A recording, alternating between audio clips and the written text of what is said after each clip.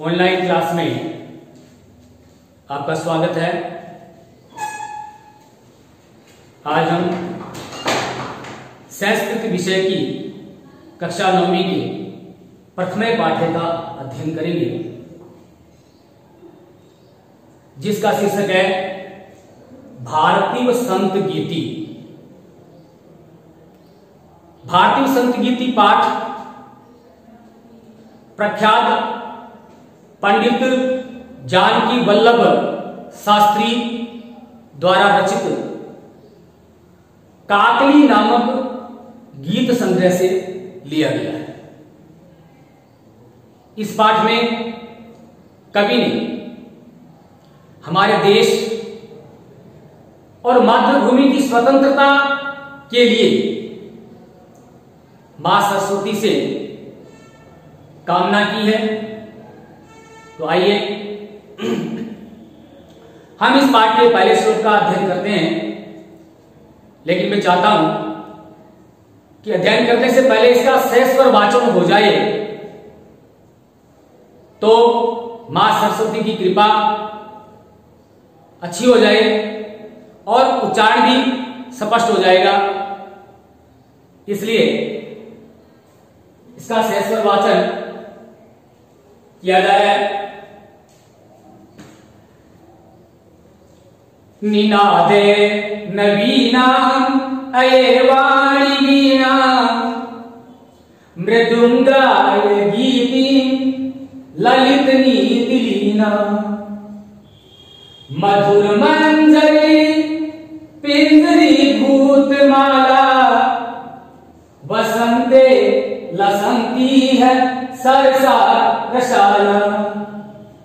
कला ललित को किला काकलीना। निनादे नवीना अये वाणी वीणा दूसरा श्लोक। वह मंद मंदम समी समीरे समीरे। वह मंद मंदम समीरे समीरे। कलिंदा जाया सवानीर तीरे। नताम पंक्ति मालोक्य मधुमाधवीना। निनादे नवीना अये वाणी तीसरा श्लोक। ललित पल्ले पादुके पुष्प पुंजे ललित पल्लवे, पादुके पुष्प पुंजे मलय मारुतो चुंबिते मंजु कुंजे स्वनन्तिं ततिं प्रेक्ष्य मलिनाम् अलीनाम् निनादे नवीनाम् अये वाणी वीणा। चौथा श्लोक। लतानां लतानां नितान्तं सुमं शान्तिशीलम् चले दु कांत सलिलं। सलीलम् तवा कन्ये वीणां मदीनां, नदीनां, निनादे नवीनां अये वाणी। वीणा अब हम सहस्वर वाचन के बाद, अब हम इसका अर्थ समझेंगे? पहला श्लोक।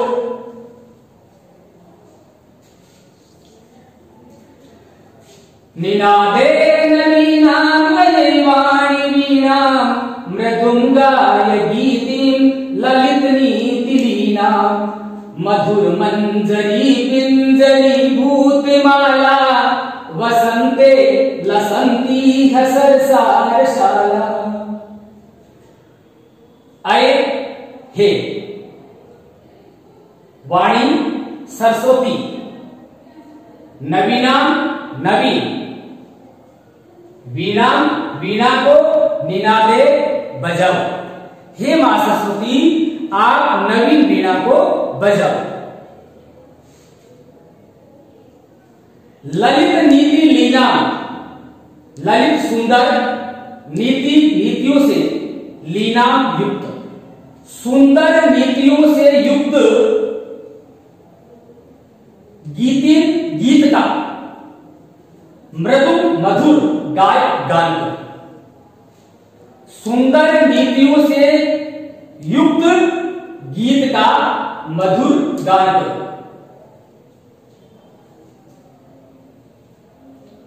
ई है, लसंती प्लस ई है। ई है इस बसंत ऋतु इस बसंत ऋतु में मधुर मंजरी आम के पुष्प अर्थात बोल इस वसंत ऋतु में आम के पुष्प बोल पिंजरीभूत जो पीले वर्ण से युक्त है, पीले वर्ण से युक्त, सरसा, रस से युक्त, सरसा रस से युक्त, रसाला आम के वृक्षों की, रसाला आम के वृक्षों की माला, पंक्तियाँ। लसंती सुशोभित हो रही है। इस बसंत ऋतु में मधुर आम के पुष्प पीले वर्ण से युक्त, रस से युक्त आम के वृक्षों की पंक्तियाँ सुशोभित हो रही ललित कोकिला मनमोहक कोयल की ध्वनि या आवाज़। मनमोहक कोयलों की ध्वनि और कलापा मानी उनके समूह है। किसके? की उनके समूह है, सुंदर लग रहे हैं। मनमोहक कोयल की आवाज़ और उसके समूह सुंदर लग रहे हैं। इसलिए, हे माँ सरस्वती, आप नवीन वीणा को बजा। अगला श्लोक। बहती मंद मंदम समीरे समीरे कलिंगा जाया सवानीर मालोक्य मधुमाधवीना निनादे नवीनाम अयेवाणीना कलिंगात्म जाया।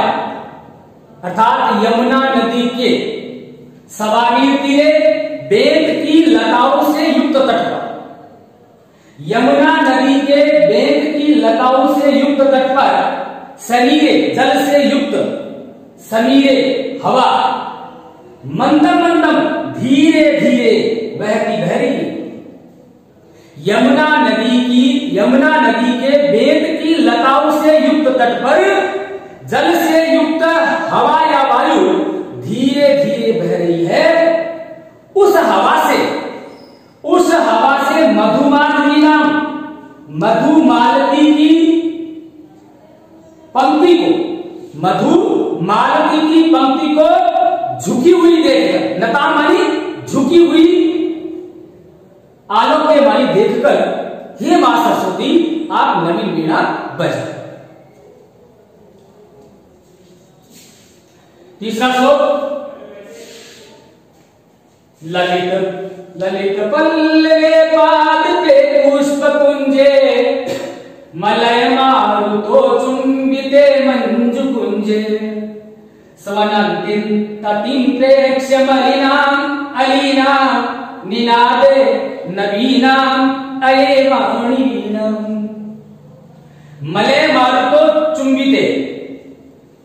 चंदन वृक्ष की हवा से स्पर्श किए गए। चुंबिते मानी स्पर्श किए गए।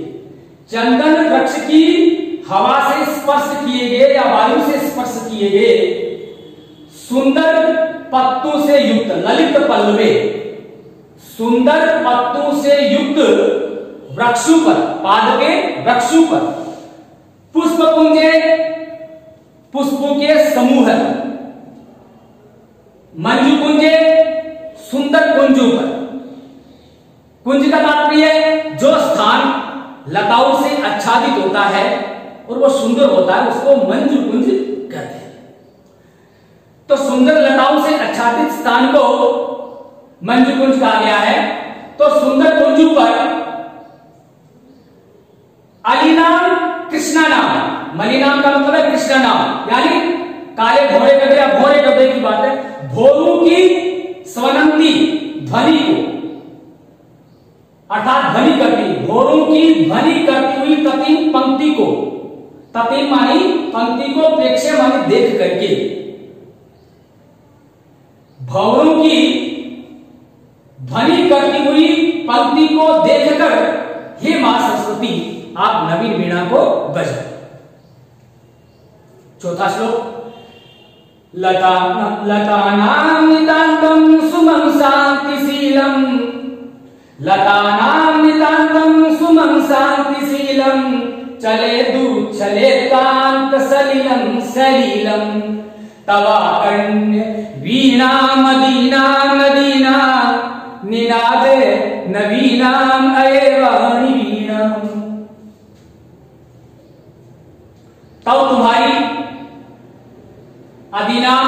ओजस्वनी या तेजस्वनी ओजस्वनी वीणा वीणा को आकरणे सुनकर, तुम्हारी ओजस्वनी वीणा को सुनकर,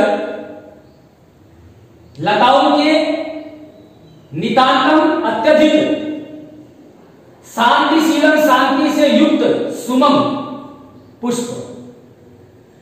तुम्हारी ओजस्वनी वीणा को सुनकर लताओं के अत्यधिक शांति से युक्त पुष्प चले चलायमान हो जाए। हे माँ सरस्वती, आप ऐसी वीणा बजाओ, जिससे आपकी ओजस्वी वीणा को सुनकर के लताओं के अत्यधिक शांति से युक्त पुष्प चलायमान हो जाए। और नदीना नदियों का। कांत सलीलम, कांत मानी सुंदर, सलीलम मानी जल। नदियों का सुंदर जल सैलीलम खेल खेल में ही उछले उछल पड़े और नदियों का सुंदर जल खेल खेल में ही उछल पड़े, इसलिए हे माँ सरस्वती आप ऐसी वीणा बजा।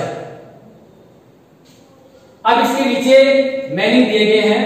ललित रीति लीना सुंदर रीति में ली। मंजरी, आम्रपुष्प, सरसा मधुर, रसाला आम के पेड़, पिंजरी भूतमाला, पीले वर्ण से युक्त पंक्तियाँ, कलापा समूह काकली कोयल की आवाज़ सनीरे जल से पूर्ण समीरे हवा में और कलिंदात बजाया यमुना नदी की। अब